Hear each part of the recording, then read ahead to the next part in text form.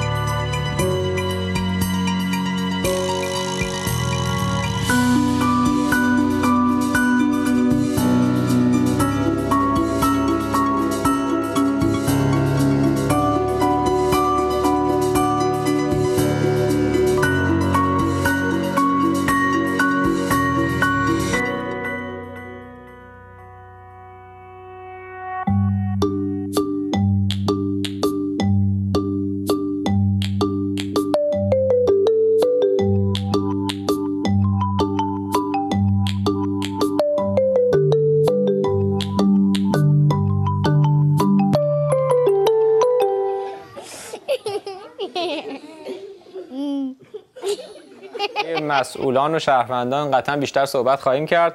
اما بپردازیم به سری آمار. متاسفانه وجود نداشتن یک مرجع مشخص که به عنوان متولی اصلی رسیدگی به کودکان کار شناخته بشه موجب شده که آمار دقیقی هم درباره شمار این کودکان در دست نباشه. البته آماری گفته میشه ولی آمارها یکسان نیست. برای اینکه به وضعیت این کودکان بهتر پی ببریم به نقل قولی از رضا جعفری مدیر کل دفتر امور آسیب دیدگان سازمان بهزیستی بپردازیم. یک مجموع آماری ایشون ارائه داده که شاید بهتر بتونه وضعیت اونها رو معلوم بکنه. 95 درصد کودکان کار بعد از کار در خیابان به خانه خودشان برمیگردن. در ویدیو اول برنامه اشاره شد برخلاف اون ذهنیتی که شاید ریشش در دهه 60 ایران باشه خیلی فکر می‌کردن که اینا احتمالاً توسط باندهای بزهکاری دارن هدایت میشن. شاید واقعا هنوز هم تعدادی از این کودکان باشن که توسط همچین باندهایی دارن هدایت میشن. اما واقعیت اینه که وقتی 95 درصدشون شب به خونه خودشون برمیگردن این ذهنیت شاید دقیق نباشه در جامعه. یعنی امروز خیلی از اینا سرپرست دارن پدر مادرشون مشخصه ولی به دلایل مختلف از جمله نیاز اقتصادی راهی خیابان ها هستن 68 درصد کودکان کار به گفته مسئولان ایرانی نیستند در واقع این نشون میده که از مناطق دیگه از شهر کشورهای اطراف ایران هم به ایران میان برای کار. اینکه حالا چقدر این آمار باز دقیق باشه باید بررسی کرد بیشتر. علاوه جنسیتی می‌دونیم که 30 درصد و نیم 30 و نیم درصد کودکان کار دختر هستند بقیهشون پسر هستن. علاوه جنسیت همین طبقه بندی رو داریم و بعد هم اینکه 85 درصد از کودکان کار پذیرش شده در مراکز بهزیستی برای اولین بار هستش که به این مراکز میرن و در واقع نشون میده که همچنان 15 درصد کسانی هستن که در گذشته رفتن به دلایل مختلف باز برمیگردن در واقع موفق نبوده این تر ولی 85 درصدشون هم بار اولشون هستش که به این مراکز وارد میشن. رو خطوط تلفن با سارا و زهرا صحبت می‌کنیم از تهران و شیراز با ما هستن. سارا یه مقداری از مشاهدات تول بگو در تهران در مجموع در سالهای اخیر فکر می‌کنید شمار این کودکان بیشتر شده بیشتر به چشم میان یا اینکه واقعا این طرحهایی که وجود داشته تا حدی موثر بوده این کودکان رو از خیابان ها جمع کردن و ترتیب دادن که دیگه کمتر در خیابان ها حضور داشته باشن؟ شما چی دید سلام احسان جان روزتون سلام ببینین من یه مت... یعنی در واقع حرفه مطالعاتی و شاخه مطالعاتی که در انجام میدم فرمانده کودکان کار کپرنشین هست. و تعریف ما از کفرنشین داستان خانه نیست. بلکه در مناطق بسیار محروم در اطراف تهران در سوله ها و کاروانسرایی که از گل زندگی کنن این بچه ها دقیقا آنچه که در ویدئوی شما گفت بهداشت ندارن در واقع اصلا تغذیه درست نمیشن سواد ندارن و اغلب زیر بار خانواده هستن که پدر متو یا مادر و عموما کار می‌کنن. به همین دلیل که این بچه ها رو ما در سطح شهر می‌بینیم که کار می‌کنن.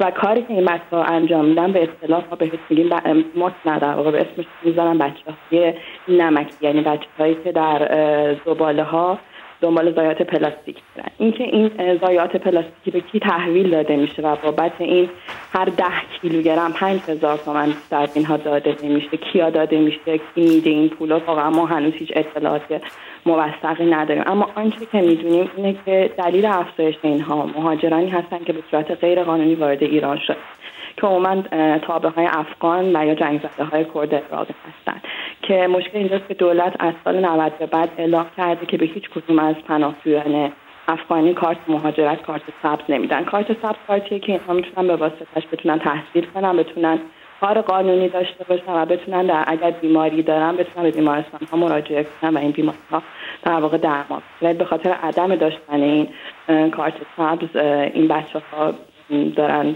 این بیماری ها رو در سطح شهر پراکنده. خب الان در حال حاضر پس روی کرده دولت در مورد به خصوص کودکان کاری که از مهاجران هستن چیه؟ در واقع اگر این کارت سبز به گفته شما در اختیارشون قرار نمی‌گیره آیا اینها رو می‌برن فرضاً به اون مراکز بهزیستی یا اینکه اصلا به کل رهاشون می‌کنن؟ در واقع چشم میبندن روی وجود این بچه ها؟ کاملا اصلا اینها به طور کامل رها شده. هستن حتی دولت اینها رو شناسایی کرده. یعنی این منطقه که ما داریم میگیم منطقه هم جمعیت نیست بعد نزدیک به 20 خانواده باشه که تعداد زیادی هم بچه دارن و در واقع زندگی می‌کنن. دولت همه اینها رو می‌شناسه ولی هیچ گونه پوشش دهی نمی‌کنه. حتی خیرین جهادی و یا نیروهای جهادی که از دل مردم میرن برای اونجا به کمک اگر شناسایی بشن جلوشون گرفته میشه و در واقع جلوشون برای کمک رسانی بیشتر گرفته میشه. مگر این افراد خاصی باشن که خودشون حالا پیش زمینش بس به جای باشه و ارگانی باشه بتونن این قضیه رو دور بزنن فکر کنید دلیل جلوگیری از کمک به قول شما خود مردم شهروندان اون سازمان های مردم نهاد چیه؟ چرا جلوی اینا رو می‌گیرن؟ ببینید سازمان های مردم نهاد اگه منظورتون بهزیستی یا عوامل دیگه است همه اینها زیر مجموعه دولت هستن نه بیشتر انجیو ها منظورم یعنی اون سازمان هایی که از دولت هیچ کمک مالی دریافت نمی‌کنن بر اساس به حال کمک های مردمی و خیریه ها میشه گفت که سرمایه جمع می‌کنن تا به این کودکان کمک کنن. شما گفتید جلوی کار مردم و بله. شهروندان و این سازمان هم ظاهرا گرفته میشه. علتشو پرسیدم. ببین دلیلی که هست که خب به هر مثلا برای مثال من یک نفر هستم که خودجوش این کار انجام می‌کنم. یک حساب بانکی باز می‌کنم و میرم این کار انجام میدم. مشکل دولت اینه که شما چرا شما به شخص وارد میشید؟ ما بعد این کارو و ما صلاح دونیم که نباید به این و به این مهاجرین کمک بده و برگردن به کشورشون. و دلیلی که خود این مردم در مصاحبه باشون این که خب چرا بر نمیگردید به افغانستان خب اونجا جنگ هست. یعنی علاوه بر این شرایط بعد اینجا داریم جنگ و خونریزی هم هست. و ما از اون شرایط در واقع فرار کردیم. این اتفاقی که اینجا میفته و دولت به خاطر اینکه حساب های شخصی اعلام میشه نمی‌ذاره این نمی‌ذاره این کمک ها انجام بشه. بسیار خوب. خیلی ممنون از شما سارا. مرسی که مشاهدتتون رو با ما در میون گذاشتید. زهرا رو از شیراز داریم. یکم از وضعیت در شیراز هم بگید. چقدر این کودکان دیده میشن در سطح شهر و آیا کمک هایی که در سالهای گذشته دولت سعی کرده انجام بده موثر بوده در مجموع این رویکرد دولت رو؟ فکر می‌کنید که میشه بهش نمره خوبی داد یا خیر؟ اول سوال دومتون رو پاسخ بدم. اینکه طبق ماده 27 پیمان نامه حقوق کودک کودکان حق دارند از آموزش، تحصیل، کرامت، اخلاق و در کل شیوه خوب زیستن بهره باشن.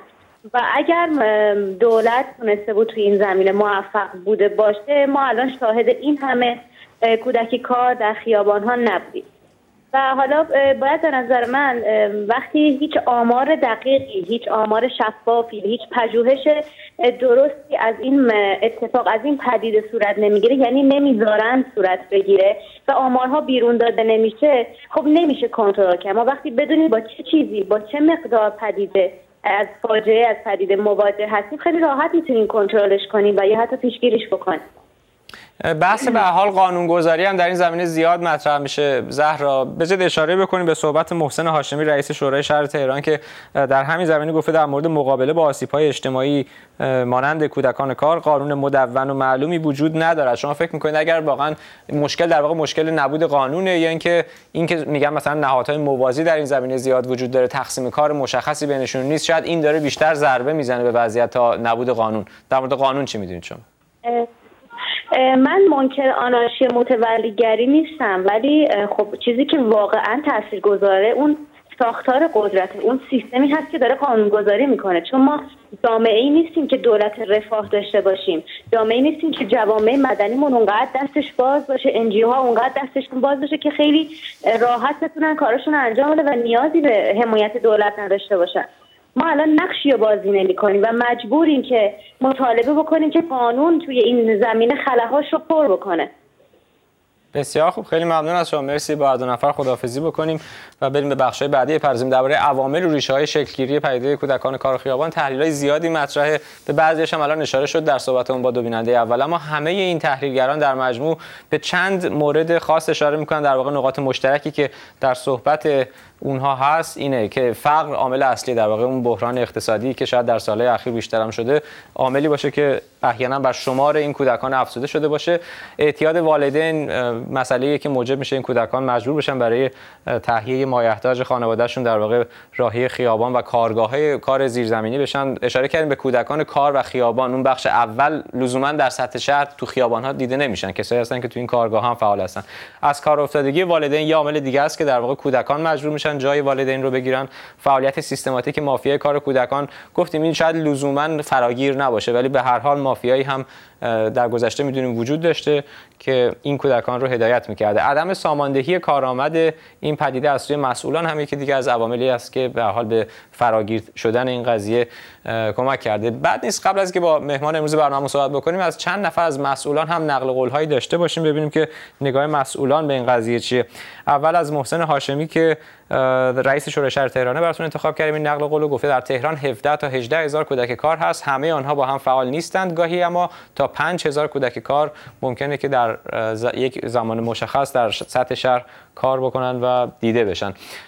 صحبت الهام فخاری رو بعد داریم که ایشون رئیس کمیته اجتماعی شورای شهر تهرانه و گفته به کارگیری کودکان در ایران ممنوع است اما از آنها در اموری مانند پسماند به شکل غیرقانونی استفاده می شود چندی پیش خبرساز شده بود استفاده از این کودکان در بحث به حال جمعآوری زباله و بعد بحث ها کودکان کار کودکانی هستند که بدون سرپرست با انگیزه کسب درآمد مشاغل رده پایین دارند. این صحبت رضا جعفری هست رئیس اورژانس اجتماعی تهران و بعد هم نهایتا به صحبت فاطمه دانشور می‌پردازیم. ایشون عضو شورای شهر تهران. گفته در بسیاری موارد اعضای بدن کودکان کار قاچاق می شود جسد برخی در بیابان ها بدون کلی و چشم پیدا شده. به حال وضعیت اسفباری دارن این کودکان. بریم پیش همکارمون نیکی محجوب که معمولا مسائل حوزه اجتماعی رو دنبال می‌کنه. مرسی نیکی که اومدی تو برنامه‌مون.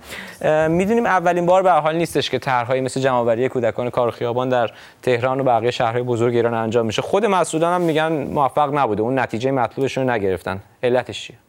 نکته اول اینه که همیشه این طرحها ضربتیه.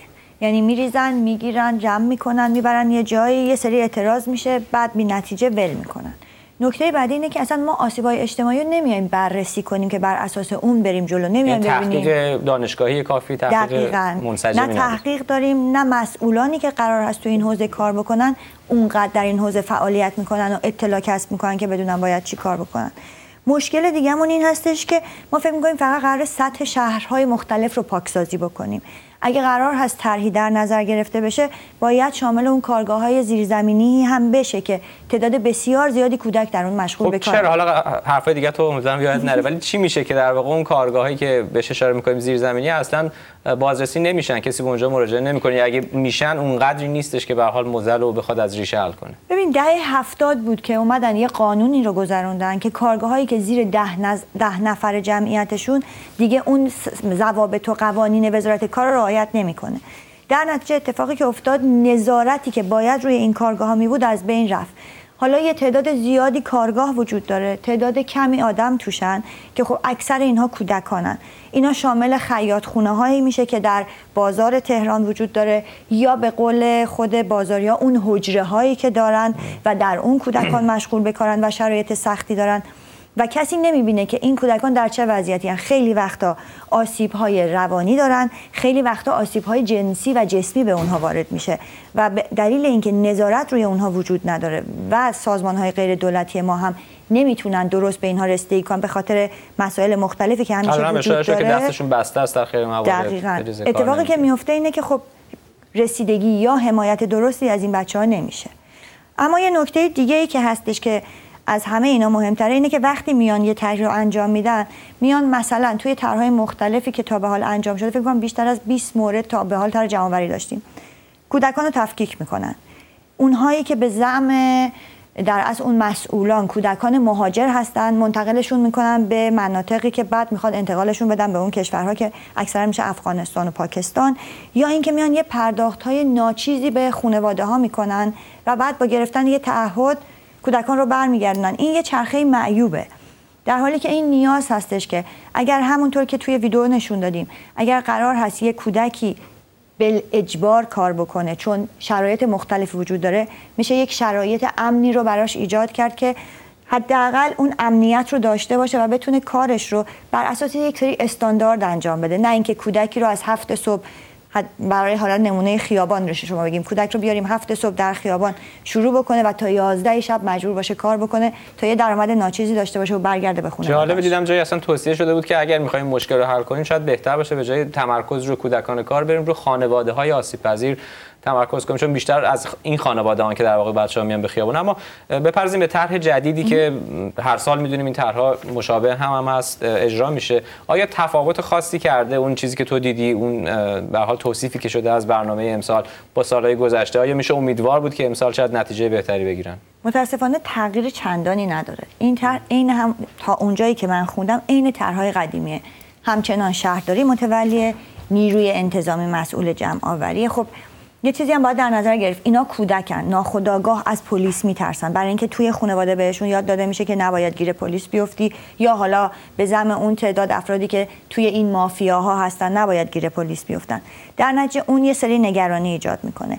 نکته دیگه اینه که قرار هست این کودکان رو جلب کنن در مراکز نگهداری کنن خانواده ها بیان تعهد لازم رو بدن با حکم قضایی بچه ها رو ببرن.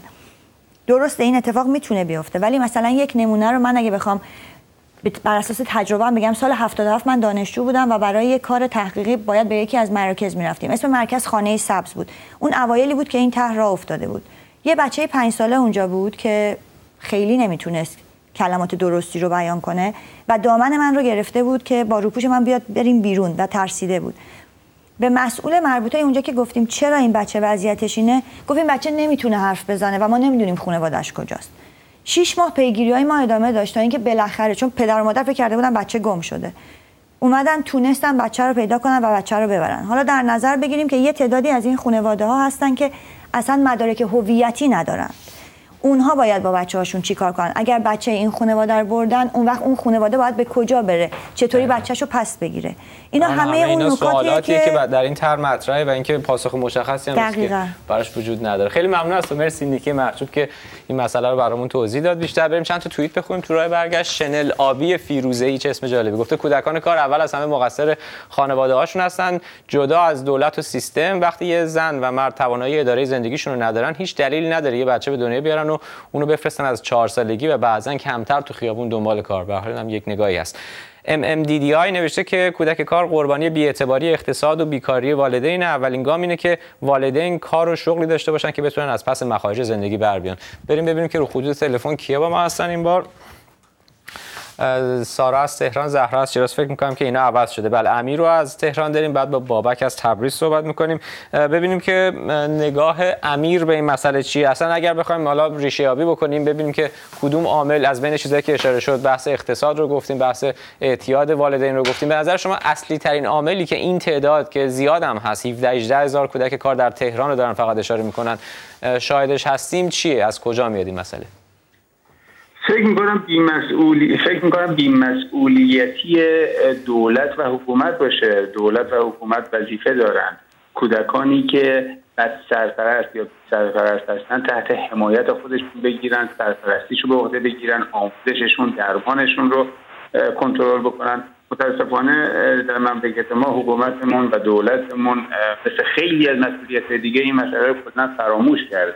خب تو این وضعیت امیر شهروند عادی من شما چیکار می‌تونید بکنید اگر روبرو بشید در خیابون پشت چراغ قرمز منتظرید که سبز بشه یکی از این کودکان کار بیاد سراغ شما ازتون پول فرزن بخواد یا جنس بخواد بفروشه خود شما چیکار می‌کنید؟ فکر می‌کنید درسته که بهش پول بدید یا ازش جنس بخرید؟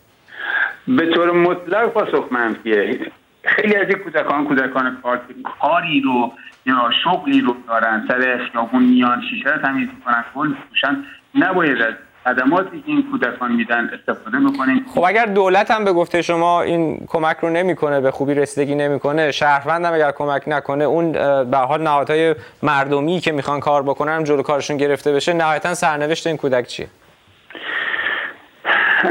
در درجه اول اطلاع رسانی مطالبه گری از دولت از شهرداری که بیان بودجه تخصیص بدن کمپین کنن مردم اجتماع بکنن کسانی که صدایی دارن تریبونی دارن هنرمندان. اما من شخصا به نوبه خودم وقتی که یکی از اینها رو می‌بینم اگر بخوام کمکی بکنم کمکی می‌کنم که مطمئن بشم به خود کودک می‌رسه. به طور مثال دادن غذا به اینها. عموما اینها گرسنه هستن. دادن لباس مناسب به اینها خصوص توی که فقط به درد خود بچه بخوره و از اون کسی که اینو سرپرستی می‌کنه دیگه به اون چیزی نرسه. نباید کاری بکنیم که تبلیغی باشه یا مفردی باشه برای اینکه کودکان بیشتری به این گرداب بیفتن. بسیار خوب. خیلی ممنون از شما امیر. مرسی. چون وقتمون در مجموع کمی بذارید که نوبت به بابک هم برسه. همین سوال از شما هم دارم بابک. روی کرده خود شما به عنوان یک شهروند عادی در قبال کودکان کار و خیابان چی؟ اگر این بچه ها رو ببینید بهشون کمک می‌کنید یا خیر؟ اگر کمک می‌کنید چه جور کمکی فکر می‌کنید؟ مناسب تره دستتون بخیر. ببینید نمیشه اینها رو بگید یک موزل اجتماعی بهشون نگاه کرد.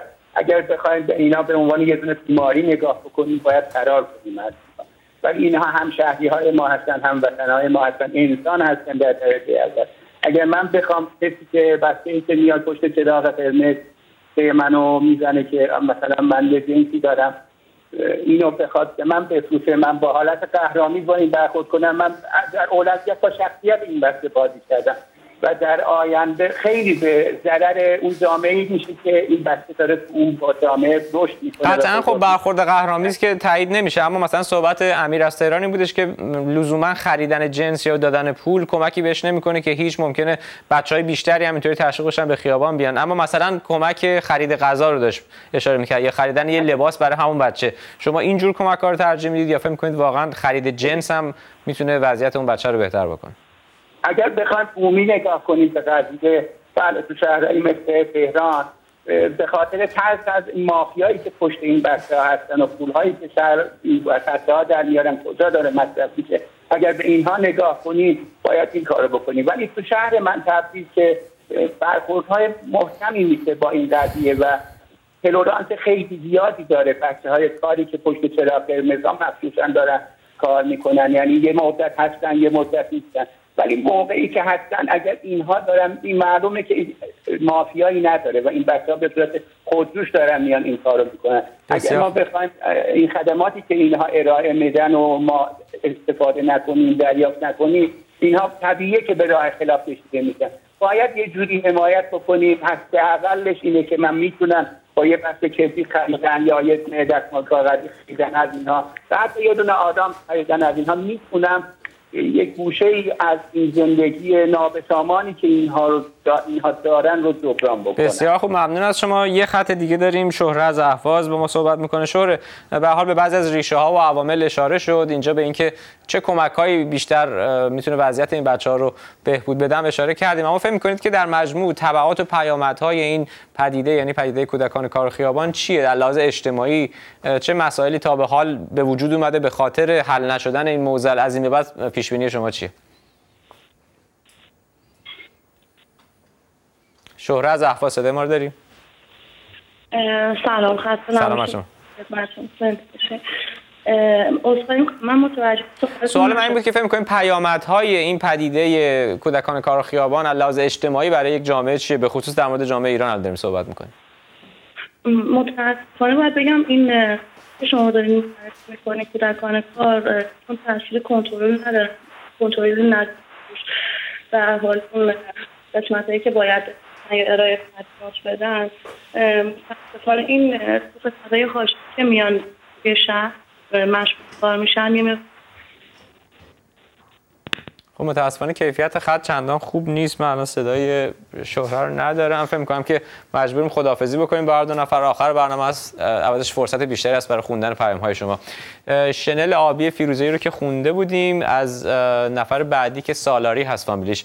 براتون می‌خوام گفت در کل نظام و دولت در کل نظام و دولت مقصر هستن. اگر پدر و مادر این بچه‌ها پدر مادرشون کار داشته باشن و خانواده هاشون نیاز مالی نداشته باشن مطمئن باشید مثل خیلی از همسن و سالاشون سر کلاس درس بودن و دنبال بازی کودکانشون ننگ بر فقر و گرانی. بریم چند تا پیام از این ور بخونیم. برامون محمد رضا در اینستاگرام نوشته که فقر یعنی فلاکت و تم به هر کاری دادن. کودکان کار نتیجه فقر و درماندگی هستن. شیوا نوشته که خیلی ساده است. دولت مسئول حقوق کودکان بی سرپرست یا بد سرپرسته و باید با منابع درآمدش سرپناه و امکان تحصیل فراهم کنه.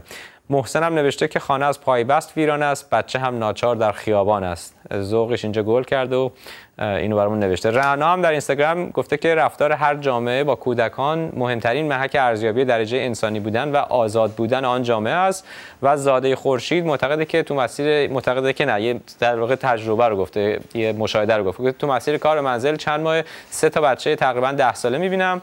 حتی ساعت 8 صبح به جای مدرسه زغالگردان به دست کنار خیابان نشسته بودن. شاید گفته فقر فزاینده که این حکومت مسبب آن بوده موجب شده بسیار از خانواده ها ناگزیر کودکانشان را به جای مدرسه در خیابان رها کنن علی گفته با این کار این قضیه که ما کودک کار نداریم این موزل حل نمیشه. محسن نوشته باید از رفاه و امنیت خانواده ها شروع کرد.